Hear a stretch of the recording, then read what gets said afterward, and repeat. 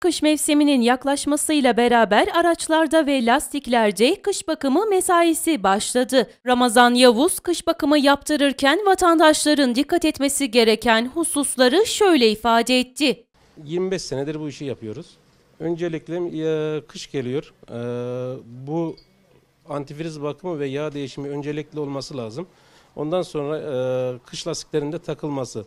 E, bir ay kaldı lastik değişimi ve antifrizin e, kış ortamının e, eksilere çıkması için bunun bir an önce yapılması lazım. Bir ay içerisinde yoğunluğa kalmadan daha çabuk ve e, daha sağlıklı olması lazım.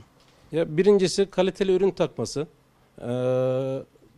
bilinen markaları kullanması, bir de işçiliğe çok önem verilmesi lazım bu konuda.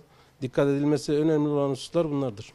E, vatandaşa bir an önce mesela hani kış demin de demiştim e, kış geliyor. Bir ay içerisinde yapılması lazım bu bakımların. 12. ayın biri son günüdür. E, cezai işlem uygulanacaktır.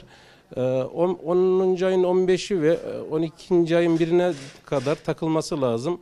E, yoğunluğa kalmadan 15 gün 20 gün içerisinde takılırsa daha memnun oluruz. Cezai işlem sadece e, ticari araçlar için ama e, binek araçlar da sağlığımız için e, takılsa iyi olur.